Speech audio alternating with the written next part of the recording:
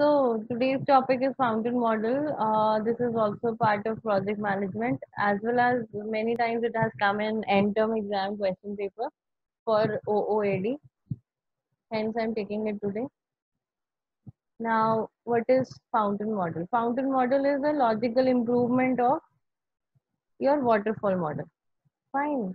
That means what they did was they thought that waterfall model is not, you know, uh, very successful for the industry. Why? Because you can only go from once uh, suppose you are in the requirement phase. Fine. Let us say you are in the requirement phase. So what happens is you go down to the analysis phase then you go further down to the design and then to coding. So there is no way that you can you know climb up.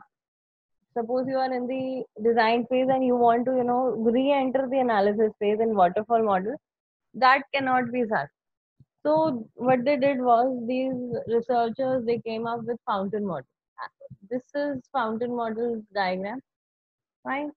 So what happens over here is there are provisions for iteration. There are provisions for iteration.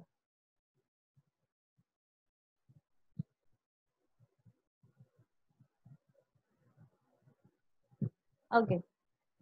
So see these arrows they are nothing but iterative arrows. That means even if you are suppose in coding state there is a way in which you can you know fall down to the design phase. Similarly if you are in design phase you can fall down to the requirement specification phase. So it's like waterfall. Fine it's like waterfall. So the water goes up and then you know it goes down. As it uh, you have all seen a fountain fine. So the water first goes up and it falls down. So hence the name for what fountain model. Fine. Hence the name for fountain model. Now it has many phases. The first phase is analysis phase. What happens in analysis phase guys? This we have already discussed in our previous uh, classes offline classes classes that we had in college. So what is analysis phase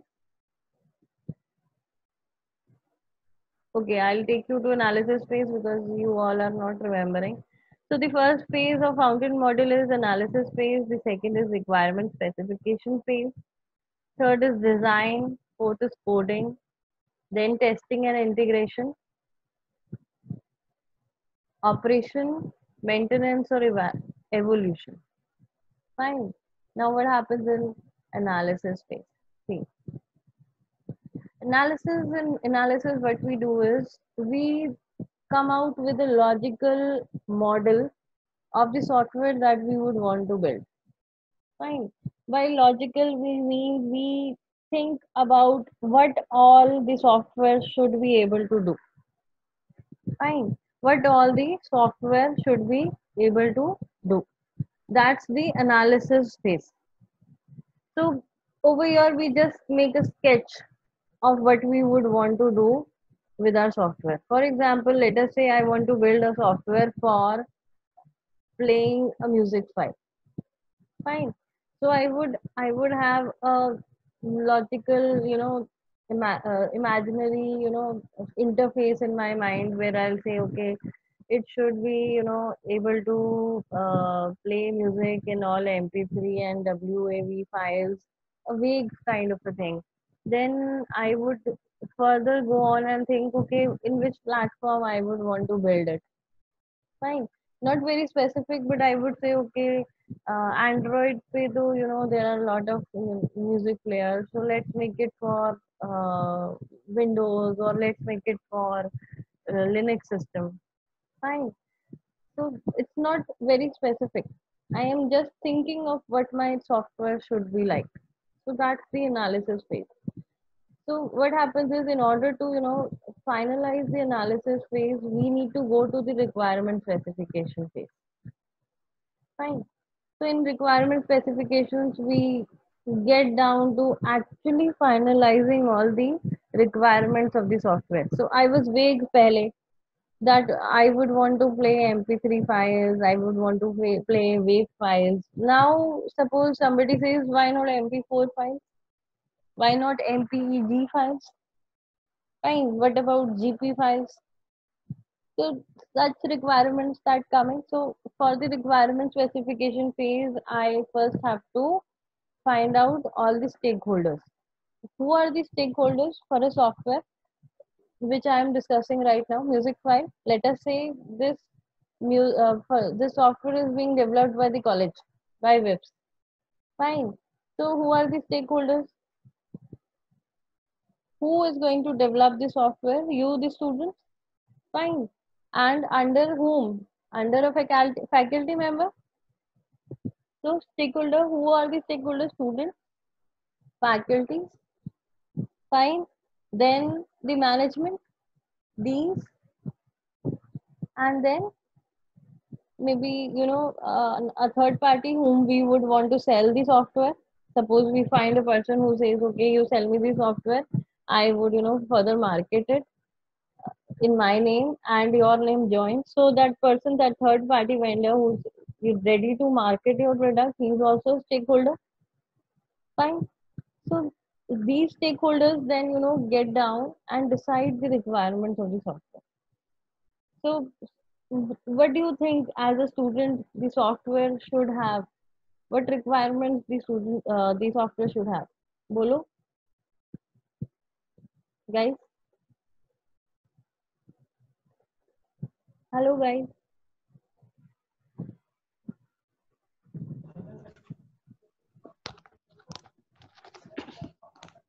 what kind of requirement do you want the software to have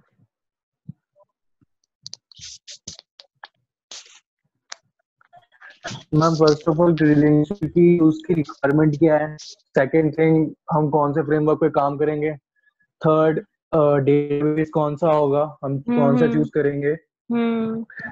and fourth की UI कैसा रहेगा? कि उसके requirement में बैठता है या नहीं बैठता है?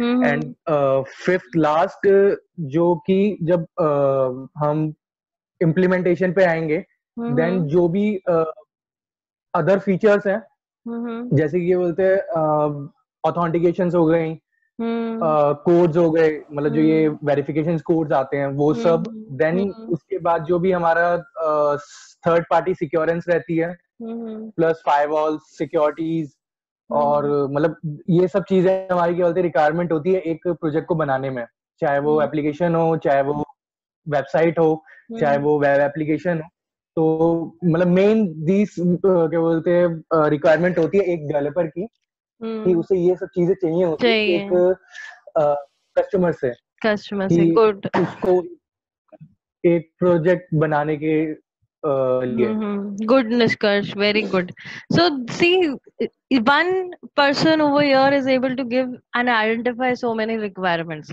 similarly the other you know the stakeholders will also be able to identify requirements faculty would have their own say fine then the management would have their own say Management would focus more on the, you know, UI interfacing wala part. So they would, and they would also suggest certain, uh, you know, requirements as in can can we play uh, can we integrate it with cloud? Fine. Suppose we have WIPS cloud. So they would say that let's integrate the software with WIPS cloud similarly the marketing person would say no no let's not integrate it with WIPS cloud. Let it be a general cloud because i would want to sell the software. So on and so forth. So there are many requirements for this. We can uh, use survey methods. We can use uh, group discussion methods. Fine. Or we can have meetings. Multiple meetings would take place with the customer the stakeholders all the everyone involved. Then we go on to the design phase in the design phase what we do we first of all finalize the platform like Nishkarsh said. So we would finalize the platform we would finalize the uh, software for the front end we would finalize the software for the back end. Fine. And over here we would start making our classes because we are learning fountain model in terms of OOD or OAD. So it is very, very much essential that in the design phase, we identify all the classes, all the objects, and the class behavior. Fine, by class behavior, I mean all the processes that a class would have to execute. So, and when we are uh, like finalizing the classes, that means over here we would make what? In the requirement specification phase, we would make the use case diagram. In the design phase, we would make the class diagram and the object diagram. In order to make the class diagram and the object diagram, I need to identify all the relationships that are between that are there between the classes and the objects. So what kind of relationships are there? So one is generalization. Fine. One बता नहीं is सकती तू बता दे मैं क्या बात करने में बताएं guys. Please mute. What are you doing, guys?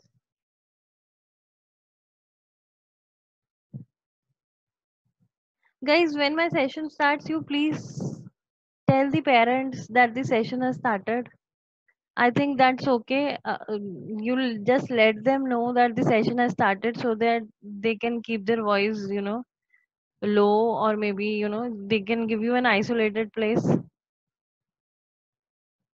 So now, uh, where was I? See, I lost the track. So in the design phase, what we do is we identify the classes, we identify the objects, we identify the relationships between the classes. So what kind of relationships are there? First is generalization, that means inheritance relationship.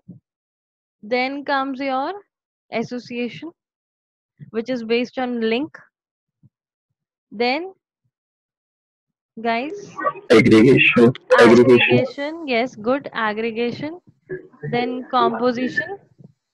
Dependencies. Realization. So these are different kind of relationships that we finalize in the design phase. And how do we finalize? By drawing which uml diagram? Class diagram and object diagram. Object diagram. Yes good. Good ishan. So now we move on to coding phase now what happens in coding phase? Coding phase what do we do? We start the coding. Fine. So we will give the ui to the ui designer. He would start making the ui the database would be handled by whom? The database administrator. So he would be you know with his team he would be he would create the database. Fine. And the processes that we had identified in the design phase that we would start writing fine. Now what happens in testing and integration? Once the software is made then it has to be thoroughly tested.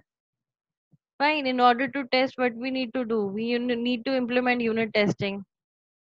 Then system testing. Fine for system testing we need to integrate the system and then test. Fine then what happens? Component testing is also there fine. Alpha beta testing is also there. Load testing. After the software has been made then you test the load whether it can take the load or not. Fine. The, all these testings i had taken in the testing class. Fine. Then what what happens? Now suppose from in the testing phase you find some flaws. So you go back to the coding phase because this is a waterfall model fine this is a fountain model. Sorry this is not a waterfall model this is a fountain model. Fine so what happens? So you move on to the from the testing and integration phase you identify certain flaws. Maybe the software is executing right but you identify certain flaws. So what you do is you go back to the coding phase. Now in the coding phase you you ad- you think that okay this problem cannot be solved you find that this problem cannot be solved in the coding phase. So since this is a fountain model you have provision to enter the design phase again. So you are then identify okay the platform that we took. Fine that has flaws. So can we you know go back to requirement specification phase and then again identify the platforms or features that we would want our software to have depending upon the uh, budget that we have. Fine. So obviously it all depends on how much budget we have. If we have a very restricted budget then we cannot make a lot of changes. But if we have a good budget then that means changes can be allowed. Fine. So from requirement specification phase again i can go to analysis phase also in a fountain model fine. Now if everything is settled then what happens? We again climb up. From the analysis we again go to requirement we can again go to design then again coding then again testing and then here the operations start. The software is implemented and operated. So it starts operating. That means component and deployment diagrams. Component and deployment diagrams come over here and once it starts operating then we enter which phase? We enter the maintenance phase or we enter the evaluation phase? Fine. So maintenance evolution phase sorry. We enter the evolution phase. So maintenance phase in maintenance phase what do we do? We do the general maintenance of the software. Suppose uh, some drivers are needed so we would you know suppose the windows get updated and you need to reinstall the software you need to redeploy the software so that comes under maintenance phase. As long as no upgrade is needed. Now suppose if we need an upgrade then we go to the evolution phase. Fine. E- evolution refers to an upgrade of the current software. Fine. This is you get multiple upgrades in windows fine. So upgrade is a continuous process. So it comes under evolution. In the evolution phase again see you can fall back and you can you know go to analysis phase. So this is what a fountain model specializes in. You climb up the phases and you can go back to the previous phases. Fine. So this is a this is fountain model any question guys No, ma'am. No, ma'am. No, ma'am. no questions then i'll start asking questions फिर सोच लो Okay, ma'am. so these are the advantages of your waterfall uh, sorry uh, fountain model fine so it supports iteration within the phases we are able to start the coding coding at an earlier pace fine. Mm-hmm. Then disadvantages it may degrade into code a bit test a bit. That means what we'll we may be tempted to do is i may you know make a small ui and then i would start okay let me you know test this first and then we'll move forward. Or i will make some part of the database and then i'll say okay let me test this ui with the database first and then we'll move forward. So code a bit test a bit is not a very good methodology and often it is found that fountain if we are using fountain model then we would you know go to this level. And which is not a very good industry practice. Fine.